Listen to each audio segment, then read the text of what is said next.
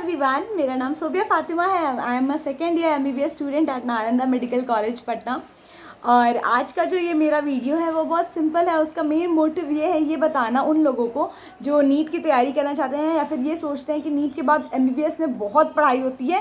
या फिर बहुत लोगों से सुनते हैं कि एम पढ़ते पढ़ते तो इंसान बुढ़ा हो जाता है तो बहुत सारे मीम्स बनते हैं इस पर बहुत सारे मिथ्स हैं कि इतना इतना ज़्यादा, इतना देर तक पढ़ना होता है कि मतलब अपनी लाइफ इंजॉय नहीं कर पाते हैं लोग। या फिर मेडिकल स्टूडेंट्स की पर्सनल लाइफ नहीं होती तो इसका रियलिटी क्या है? I guess second year medical student होने के बाद मेरे में इतना मतलब इतना एक्सपीरियंस हो चुका है कि हम बता सकें कि रियलिटी है क्या। तो ये वीडियो उसी पर बेस्ड है। सो so, मेरा चैनल जो है अगर आप सब मेरा चैनल देखें और अगर आपको मेरा चैनल अच्छा लगे तो प्लीज़ सब्सक्राइब कर दीजिएगा ताकि आगे और भी ऐसे मेरी वीडियोस देखते रहें नोटिफिकेशंस आते रहे आप सबको। और अगर ये वाली वीडियो पूरी अच्छी लगे तो लाइक शेयर ज़रूर कर दीजिएगा। सो लेट्स बिगिन जब हम नया नया कॉलेज में आते हैं तो हमें ये पहले से पता रहता है कि हमें बहुत ज़्यादा पढ़ना है एमबीबीएस में और स्टार्टिंग से ही लग जाना होता है और इतना सिलेबस है, इतना चा, हर, जैसे फ़र्स्ट ईयर में तीन सब्जेक्ट है सेकेंड ईयर में चार, ऐसे ऐसे करके फाइनल ईयर तो बहुत सारे टोटल मिला के सब्जेक्ट्स हो जाते हैं और उसके बाद आगे पीजी भी देनी है, जिसमें सारे सब्जेक्ट्स आएँगे तो पहले से ही प्रेशर बहुत रहता है। तो इसके कारण से क्या होता है, बहुत सारे स्टूडेंट्स को जब ये पता चलता है कि इतना पढ़ना है तो वो मन रहता है डॉक्टर बनने का बट इसी वजह से नहीं ऑप्ट करते हैं एम से नीट देने नहीं चाहते हैं कि बहुत पढ़ना है और उतनी पढ़ाई हो नहीं पाएगी या फिर पास नहीं कर पाएँगे फेल हो जाएँगे, बहुत सारी बात। तो बेसिकली बात यह है कि लगता ऐसा है बट डीप डाउन उतना भी टेंशन नहीं होता है कॉलेज आने के बाद, क्योंकि जिनका भी नीट निकलता है, जो भी मेडिकल कॉलेज आते हैं, वो थोड़े शार्प माइंडेड होते ही हैं। आके भले पढ़ने में उन्हें दिक्कत हो या फिर कोई कोई सब्जेक्ट जैसे एनाटमी हो गया फ़र्स्ट ईयर में सेकेंड ईयर में फार्मा हो भले वो टफ़ लगे बट पढ़ाई हो जाती है, जैसा मेरा एक्सपीरियंस है। आते के साथ हम मतलब एनाटमी ऐसे बहुत ज़्यादा पढ़ने लगते शुरू के एक दो महीने लगता था कि पूरा पढ़ लेंगे मतलब एक महीने ही सॉरी दो महीने नहीं, लगता था पूरा पढ़ लेंगे बट उसके बाद से एक टाइम के बाद सैचुरेशन हो गया। इतने सारे मोटे मोटे बुक्स नहीं पढ़ने का मन करता था। पता है कि बहुत पढ़ना है बट फिर भी नहीं मन करता था। तो ऐसा थोड़ी है कि हम फेल हो गए मतलब हम यही एक तरह से जिस्ट देना चाह रहे हैं कि ऐसा ज़रूरी नहीं कि बहुत ही पढ़ना होता है मेडिकल कॉलेज में, तभी तुम आगे जा पाओगे या मेडिकल क्लियर कर पाओगे। लास्ट मोमेंट पे भी पढ़ाई होती है। मतलब ये सुनकर बहुत अजीब लगा कि अरे मेडिकल कॉलेज में भी लोग एक रात मतलब एक रात पहले एग्ज़ाम के पढ़ते हैं। बट हाँ पढ़ते हैं। हम लोग तो मतलब वाइवा के पहले, जो वाइवा में मतलब रूम में टीचर्स लोग मतलब पूछने वाले हैं उसके पहले चार पाँच लोग मिलके डिस्कशन करते हैं अच्छा ये तुम टॉपिक पढ़ो, ये तुम टॉपिक पढ़, क्या ये? उस, उसी टाइम असली पढ़ाई होती है। थ्योरी में बैठे रहते हैं क्वेश्चन पेपर मिलने से पहले एक दूसरे डिस्कशन करते हैं, उस टाइम असली पढ़ाई होती है। क्योंकि आप लोग सोच रहे हैं, इतने मोटे मोटे बुक्स होते हैं, क्या लगता है कि पूरे मोटे, पूरा पूरा मोटा सा बुक पूरा मतलब हम लोग दिमाग में अपने भर लेंगे, सब कुछ याद कर लेंगे। रीडिंग भी पूरा करेंगे तब भी याद नहीं होगा। जो लोग सोचते हैं कि दिन रात पढ़ के भी उन्हें बहुत अच्छा मार्क्स आ जाएगा, वो भी उतना ही स्कोर करते हैं, थोड़ा सा ज़्यादा करते हैं। मतलब बेसिकली मेरे कहने का यही मतलब है कि फ़ायदा नहीं होता पूरा बुक पढ़ के। आप सबको ये नॉलेज होना चाहिए कि कौन सा क्वेश्चन इंपॉर्टेंट है और ये नॉलेज होना चाहिए कि प्रीवियस ईयर क्वेश्चन कौन कौन से आए हैं। ये दो फैक्टर बहुत इंपॉर्टेंट होता है। एक तो इंपॉर्टेंट क्वेश्चन और एक क्वेश्चन जो हर साल रिपीट होते हैं। यही दोनों मिलाकर ही पढ़ते हैं मेडिकल के स्टूडेंट्स और उसी से पास करते हैं। पूरा बुक पढ़कर कोई नहीं पास करता है।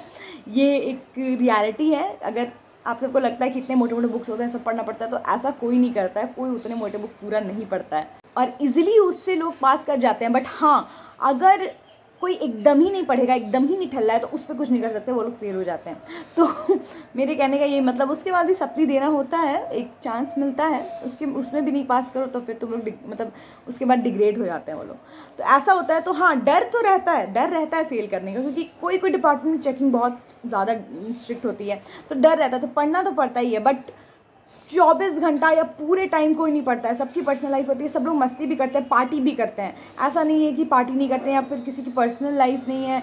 ऐसा कुछ नहीं होता है, सब लोग अच्छे से रहते हैं। बस एग्ज़ाम के टाइम सबकी हालत टाइट होती है, बाकी बाकी सारे टाइम सब आराम से ही रहते हैं चिल रहते हैं। अब जैसे प्रैक्टिकल भी लिखना होता है तो ऐसा होना है कि जैसे प्रैक्टिकल हुआ, उसके बाद लिखना है चेक करवाना है तो जो डिपार्टमेंट स्ट्रिक्ट होता है, वही डिपार्टमेंट में उसी दिन लिखे, जिस दिन चेक करवाना है, उसके थोड़ी देर पहले लिखते हैं और चेक करवाते हैं। ऐसा नहीं कि जिस दिन प्रैक्टिकल हुआ, उसी दिन लिखे। जिस दिन चेक करवाना है, उसके थोड़े दिन पहले। और जो डिपार्टमेंट स्ट्रिक्ट नहीं है, उसमें तो लिखते ही नहीं है कोई प्रैक्टिकल अच्छा प्रैक्टिकल एग्ज़ाम आने वाला है जब, उसके एक दिन पहले बैठ के जितने भी सत्रह, अठारह प्रैक्टिकल से सब लिखते हैं।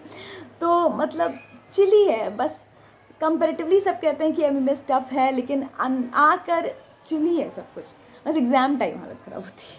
तो पर्सनली अभी तक हम वो टाइम फेस नहीं किए अभी हम सेकेंड ईयर में ही हैं। अभी हम फाइनल ईयर वाला टाइम फेस नहीं किए हैं और मतलब थर्ड ईयर तो चला जाता है, ऐसे ही सुने हम। फाइनल ईयर वाला टाइम फेस नहीं किए हैं और पीजी प्रिपरेशन फेस नहीं किए इंटर्नशिप फेस नहीं किए। हो सकता है क्योंकि हम सुने कि पीजी प्रिपरेशन से पहले बहुत मेहनत लगती है, उस टाइम सब कुछ याद करना पड़ता है तो एक साथ अचानक से मुश्किल हो जाती है। तो उस टाइम हम बोल सकते हैं हाँ वो थोड़ा सा टेंशन वाला टाइम होता है सबके लिए, हो मेरे लिए होगा।